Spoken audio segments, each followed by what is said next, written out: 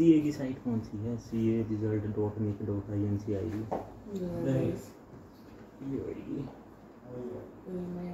दिसंबर इक्कीस? ये क्या होता है? जून बाईस देख। नहीं आ रहा? दिसंबर इक्कीस? पुरानी साइट है क्या? दोबारा देख।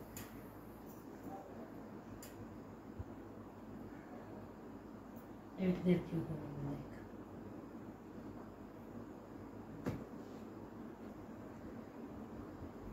ये क्या खुल रहा है बार बार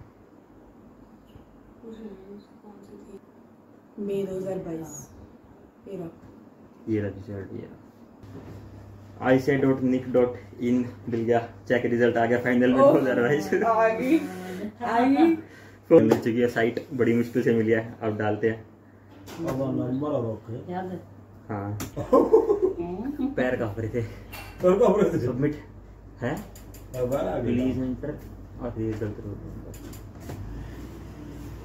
दूसरा सबमिट हो गया? खुल गया। खुल गया खुल गया खुल गया। फेल फेल दोनों में फेल तीन सौ छत्तीस नंबर सिर्फ़। हो ये कैसे हुआ? इसमें एडवांस ऑडिटिंग में कॉर्पोरेट लॉ में दोनों ग्रुप में ही फेल हो गया। ऐसे कैसे? क्या बता कॉस्ट इसके तो बहुत ही कम दिखा रखे हैं और इसके दोनों में ही कुछ भी नहीं है तो। ऐसे कैसे चलो क्या कर सकते हैं हो गए हो गए। तो चलो अपना रिज़ल्ट तो पता नहीं भाई बड़ा अनएक्सपेक्टेड सा है कुछ नहीं पता होता इसमें कैसे रिज़ल्ट आता है कैसे नहीं आता। ठीक है? क्या क्या कर सकते हैं? दोबारा पढ़ने बैठना पड़ेगा। अब हाथ मुँह देते हैं। और क्या? चलो फिर।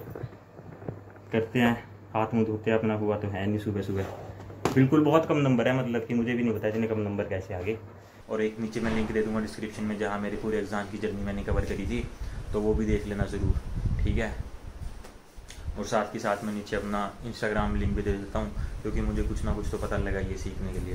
तो जिसने भी पूछना है, वो पूछ सकता है कि आपने देख मतलब कि अपना क्लियर तो हुआ है नहीं।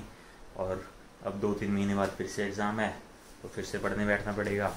मतलब तीन नवंबर में होते हैं एग्ज़ाम क्या बाकी मतलब बिल्कुल ही अनएक्सपेक्टेड सा रिज़ल्ट तो आता ही आता है, पर इतना भी मुझे एक्सपेक्ट मुझे मतलब ये था कि एटलीस्ट एक ग्रुप तो हो ही जाएगा, जिनको पता है, जिनको पता है मतलब ग्रुप्स का क्या हिसाब किताब उनको समझ आ रही होगी। तो फिर अब चलो क्या ही कह सकते हैं, चलो एक्सपीरियंस तो हुआ, कुछ एक्सपीरियंस तो आया एटलीस्ट तो करेंगे बेटर ट्राई अगले बार के लिए और पढ़ेंगे तो ऐसे ही चलते रहेंगे, बस मुस्कुराना हमेशा। तो चलो बस ऐसे ही करते रहेंगे ट्राई और ऐसा तो है नहीं कि दोबारा दोबारा नहीं दे सकते, दोबारा देंगे, फिर से अच्छे से देंगे।